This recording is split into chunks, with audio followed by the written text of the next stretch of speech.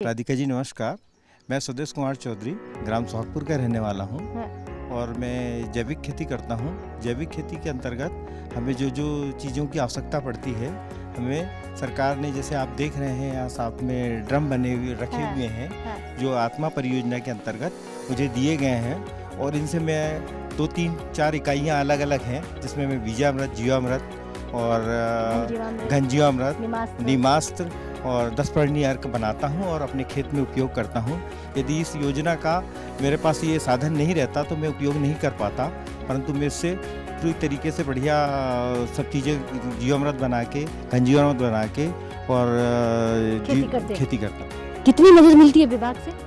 विभाग से हमें बहुत मदद मिलती है। जी और क्या क्या खेत में आपने विभाग से मदद ली है? हाँ, मेरे खेत में एक सोलर यूनिट भी लगा हुआ है। हाँ। वो सोलर यूनिट भी विभाग की तरफ़ से मुझे मिला गया है। और? और स्प्रिंकलर पाइप भी मुझे मिले हैं हम्म। और ड्रिप भी मैंने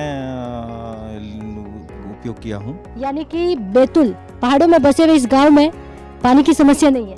पानी की समस्या नहीं है यहाँ पे। पानी पहुँच गया है? हाँ पानी पहुँच गया है। और कितने भाई हैं यहाँ के और कितने हमारे किसान हैं अन्नदाता हैं जो इस प्रकार की खेती यानी कि प्राकृतिक खेती करते हैं?